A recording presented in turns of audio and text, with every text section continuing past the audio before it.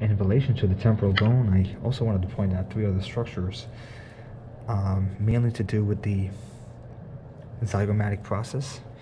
There is one on each side. So we have the zygomatic process here and as well as over here.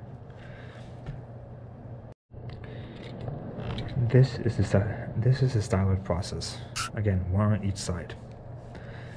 Lastly, you have the mastoid process, which is situated right over here. This is the mastoid process. Again, mastoid process, styloid process, and then you have the zygomatic process here and here. So earlier I also mentioned about the foramen ovale from this perspective. However, the foramen ovale can also be asked if it was held in, in this position. So the foramen ovale, if held, if looked from the inferior perspective, the foramen ovale is situated here and here. That is the foramen ovale. And then you have the external acoustic meatus.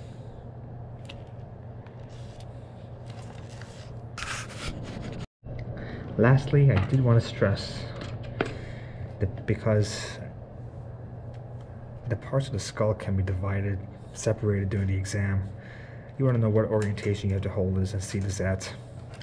This is the temporal bone. This is the squamous suture, okay?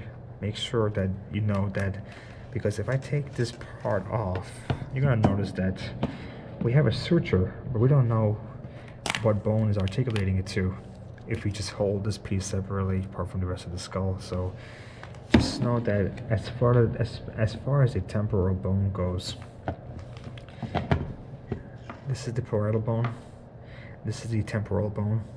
Between the parietal and temporal bone, you have the squamous suture.